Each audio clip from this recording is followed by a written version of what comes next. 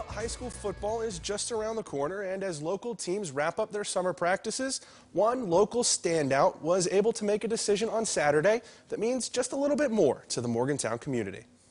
The apple has never fallen far from the tree for the Braham family, with son Noah following in his father Rich's footsteps as a multi-sport standout at University High School. Now he's taking another stride in his old man's lineman-sized shoe prints. Over the weekend, the Hawks standout linebacker and tight end pledged his verbal college commitment to West Virginia, just days after earning an offer at the Mountaineers 7 on 7 camp.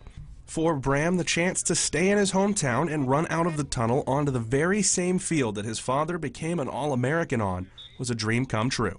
Being able to be offered by WVU is really special to me because my dad played there and it's like uh, where I've always wanted to go.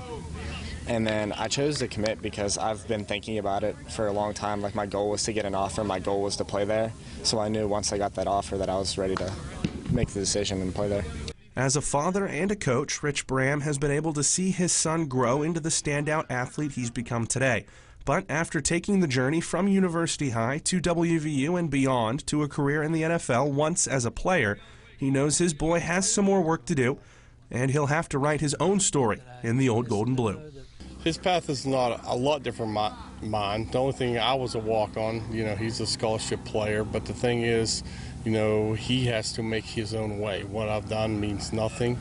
Moving forward, he knows how much work he needs to put in and continue to work to get better every day. Watching over every step of the younger Braham's development has been university head coach John Kelly, who helped build his father into the player he would become at WVU during his first few years leading the Hawks. Now, over 30 years later, the second winningest active coach in the state of West Virginia has seen a mirror image of his most successful player sprout up right in front of his eyes on the turf there on Baker's Ridge. You know, him and his dad have a lot in common. I mean, I coached them both outside these lines. They are as nice and shy and humble as you can be. But once you get inside that white line, they're gonna they're gonna rock your world. While Noah Braham's first chance to put the pads on for the Mountaineers is still a ways away, he sees the big picture on what it will mean to the city of Morgantown to see one of their own, the son of one of their best, sprint out onto the field at Milan Puskar Stadium. When I was younger, I went to WV football games, and it's like, like as a little kid, you're always like, it, it's like they're like really cool, and they're like, you look up to them, and I just want to be that and give back to the community and allow them to look up to me. No matter what happens once he gets to WVU, Noah Braham's story is one about fathers and sons. And if he has anything to say about it, it's one that won't be coming to an end anytime soon.